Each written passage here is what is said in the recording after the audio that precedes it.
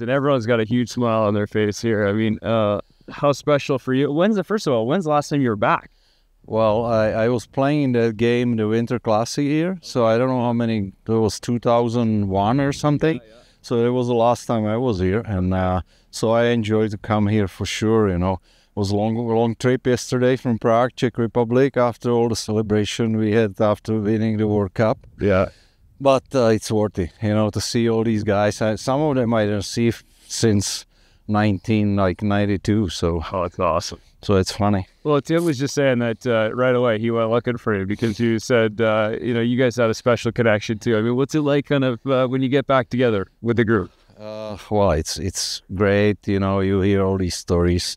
Uh, so it reminds you what we went through uh, '89. You know, winning the Stanley Cup and uh, see all these good friends. It's it's always great. What about uh, when you when you guys get back together? I mean, does it kind of feel like um, you know, like it was back in '89 in terms of the team and the group and the connections?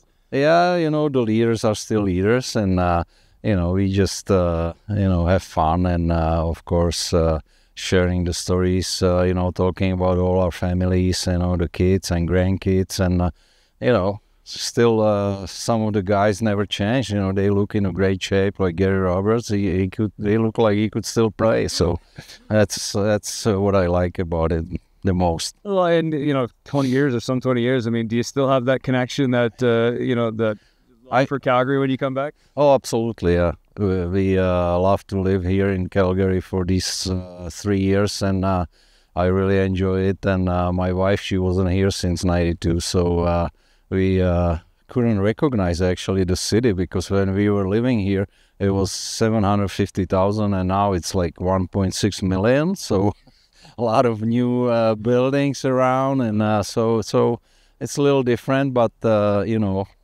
I still love it here.